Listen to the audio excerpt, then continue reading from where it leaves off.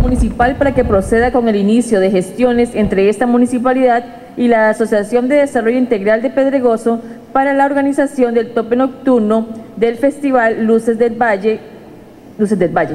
Se solicita acuerdo definitivamente aprobado. Este fue el acuerdo que tomaron en el Consejo Municipal de Pérez Celedón para que la Asociación de Desarrollo Integral de Pedregoso sea la organización a cargo de los detalles de lo que será el tope nocturno del Festival Luces del Valle 2023.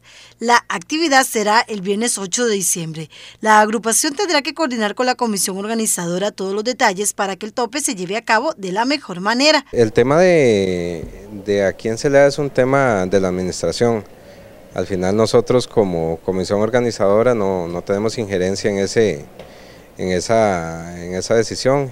En este caso, don Jeffrey en, calidad de, alcalde y, bueno, tiene que, contar con la aprobación del Consejo Municipal.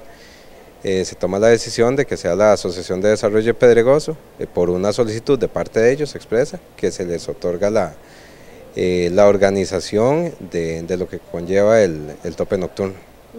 En este caso, pero igual ellos tienen que trabajar de la mano con ustedes, va a haber una logística parecida, eso va a ser el viernes 8 de diciembre, una logística muy parecida, ¿verdad? Que va a ser el recorrido, todo tienen que trabajarlo también de la mano. Sí, sí, nosotros no tenemos que perder de vista que es una actividad del Festival Luces del Valle. Si yo me refiero que nosotros no escogemos la asociación, sin embargo, sí tenemos que ser garantes de, del cumplimiento tanto de...